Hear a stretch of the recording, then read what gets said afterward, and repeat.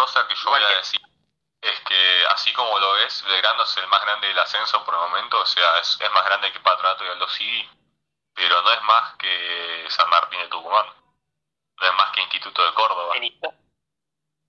En, historia, decís. Históricamente y por datos, eh, Belgrano es el club más chico de Córdoba. Es el equipo con menos tiempo en primera, eh, es el equipo, ¿cómo se llama esto?, con menos copas ganadas, es el equipo con menos clásicos ganados. O sea, si hablamos de, datos, Instituto Córdoba es mucho más decente que, que, que Belgrido.